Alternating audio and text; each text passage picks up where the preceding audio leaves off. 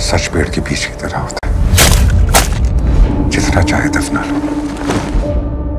एक दिन बाहर आ जाता है। दोस्तों, इस वीडियो में जानेंगे दृश्यम टू के सोलहवें दिन के बॉक्स ऑफ़िस कलेक्शन के बारे में और साथ ही जानेंगे इस फ़िल्म के अब तक के total India net gross overseas और वर्ल्ड वाइड कलेक्शन के बारे में।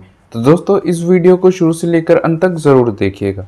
इस फ़िल्म ने अपने पहले दिन में इंडिया में 15 करोड़ 40 लाख का नेट कलेक्शन किया था तो अपने पहले वीकेंड में चौसठ करोड़ 17 लाख का कलेक्शन किया था। इस फ़िल्म ने अपने पहले हफ़्ते में 104 करोड़ बासठ लाख का और अपने दूसरे हफ़्ते में अंठावन करोड़ अंठानवे लाख का कलेक्शन किया था।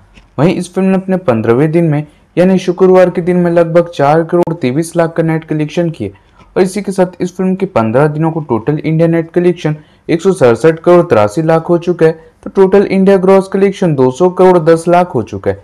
इस फ़िल्म ने ओवरसीज में लगभग तिरालीस करोड़ के कलेक्शन किया। अगर वर्ल्ड वाइड कलेक्शन की बात करें तो इस फ़िल्म के 15 दिनों को टोटल वर्ल्ड वाइड कलेक्शन दो करोड़ 10 लाख हो चुका है। दोस्तों, अगर बात करें इस फ़िल्म के सोलहवें दिन की कलेक्शन की तो ये फ़िल्म अपने सोलहवें दिन में इंडिया में लगभग 6 करोड़ का नेट कलेक्शन करने वाली है।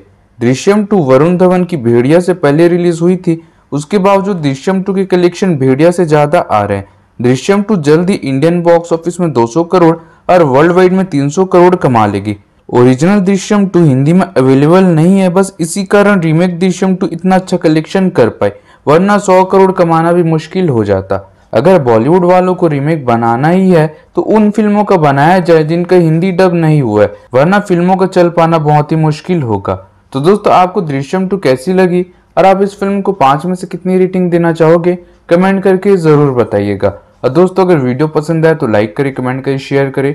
और अगर आप हमारे चैनल में नए हो तो ऐसी बॉक्स ऑफ़िस के कलेक्शन और फ़िल्मों की सभी जानकारी पाने के लिए हमारे चैनल को सब्सक्राइब ज़रूर करें और बेल आइकन भी दबा दे ताकि हमारे वीडियो के नोटिफिकेशन आप तक पहुँच सके।